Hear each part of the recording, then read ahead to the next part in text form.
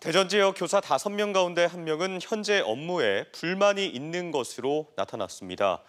대전 교육정책연구소가 지난 4월과 5월 초중고교 교사 1,536명을 상대로 교직 만족도를 조사한 결과 20.4%가 현재 업무에 만족하지 못한다고 답했습니다.